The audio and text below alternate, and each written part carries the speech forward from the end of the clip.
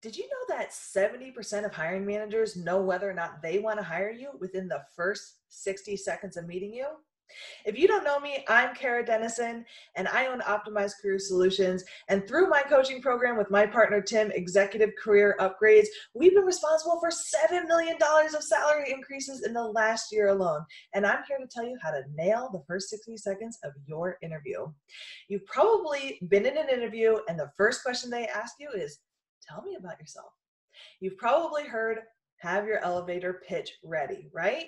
So I'm going to tell you exactly how to have your elevator pitch on point so that you can nail that first 60 seconds and answer that tell me about yourself question perfectly so you can frame your your interview perfectly and nail that interview and set yourself up for success. So, here's how you want to have your elevator pitch that first 60 seconds down to a T you're going to have three different sections. The first section is going to be a little bit about yourself because it's the right and polite thing to do, right? You're a person, so are they. So you're going to tell them a little bit about yourself where you went to school, where you live, a little bit about yourself. Keep that part to about 10 seconds. Really, you want to keep it to your professional stuff, but give a little bit about your personal life. Then you're going to move into your professional experience. Here is where you really want to give first part of your first 30 seconds of the professional stuff, an overarching view of your career. For the last 20 years, I've been a senior sales executive focused on leading uh, highly successful teams and driving revenue and decreasing costs.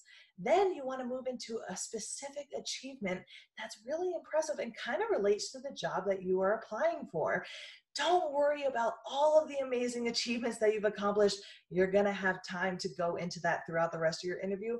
And don't worry about really elongating that achievement. Just make it super impressive and throw some results in there too.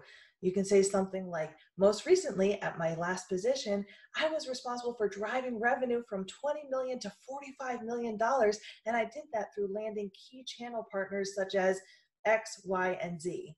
And then you want to go into, in your last 20 seconds, why you're so excited to be talking to them, right?